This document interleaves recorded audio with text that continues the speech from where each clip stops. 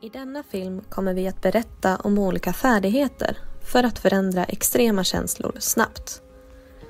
I den här filmen beskriver vi endast färdigheterna. I de två andra filmerna i serien görs två av övningarna.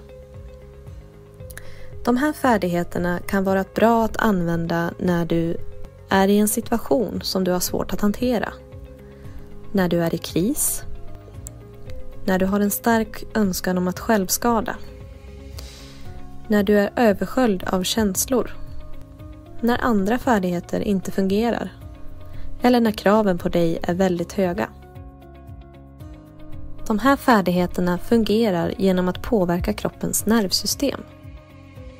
När du är uppfylld av starka känslor är ditt sympatiska system aktiverat. Det som även kallas för fight or flight. Det lugnande parasympatiska systemet som även kallas för Rest and Digest, aktiveras när du använder färdigheterna. Det här systemet är motsatsen till det föregående och motverkar därmed de starka känslorna. Vi kommer nu att ta upp fyra olika delar som tillsammans bildar akronymen TIP. Det här är för att du enkelt ska komma ihåg färdigheterna. T står för temperatursänkning i syfte för att snabbt lugna ner dig. Detta görs genom att stå upp, hålla andan, böja dig fram och doppa ansiktet i en skål med vatten. Detta signalerar för hjärnan att du befinner dig under vatten, vilket aktiverar dykresponsen.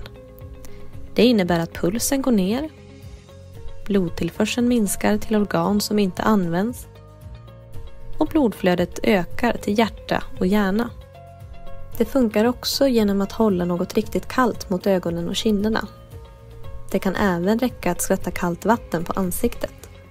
Kom ihåg att stå upp, hålla andan och böja på kroppen. Denna respons hjälper till att reglera känslorna men det kan ta upp till 10-15 sekunder innan den kommer igång. Håll därför kvar i 30 sekunder och gärna upp till en minut. Denna strategi fungerar särskilt bra när du har svårt att sova på grund av oro eller upplever att du dissocierar och svävar iväg. Varning! Kallt vatten sänker pulsen snabbt. Om du har hjärtbesvär eller någon annan sjukdom, sänkt puls på grund av medicinering, tar betablockare eller lider av en ätstörning, rådfråga då med din läkare innan du använder dig av denna färdighet. Undvik kallt vatten om du är allergisk mot kyla. Nästa färdighet i TIP är I som står för intensiv fysisk rörelse. Det kan vara till exempel att springa, styrketräna eller hålla på med en bollsport. Intensiv fysisk rörelse gör av med kroppens uppdämda energi så att du kan lugna dig när kroppen är uppfylld av starka känslor du behöver komma upp i 70% av maxpuls för att få långvarig effekt. Det ska gärna hålla på i minst 30 minuter för full effekt. Den kan användas när du är ledsen, känner dig arg eller ångestfylld.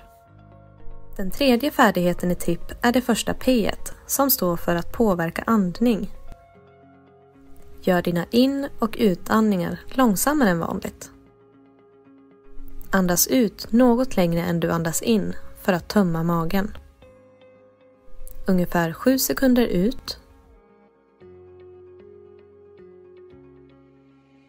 och 5 sekunder in. Den sista färdigheten i TIP är också ett P som står för progressiv avslappning. Samtidigt som du andas in spänner du alla muskler i kroppen.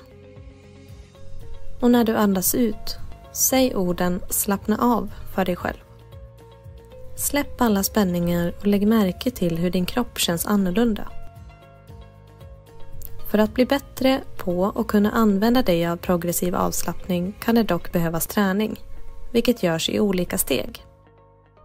Till en början kan du behöva välja en lugn plats där du inte blir distraherad. När du övat några gånger kan du välja olika platser så att du tränar din förmåga att kunna slappna av där du behöver det som bäst. Du kan också välja att spänna enskilda kroppsdelar var för sig för att träna upp förmågan till att senare kunna spänna hela kroppen. När du lärt dig spänna vardera muskel kan du gruppera dem till större muskelgrupper och spänna en sån muskelgrupp i taget. Detta illustreras som liten, mellanstor och stor muskelgrupp. Här är några exempel på små muskelgrupper som vi kommer att gå igenom i nästa film.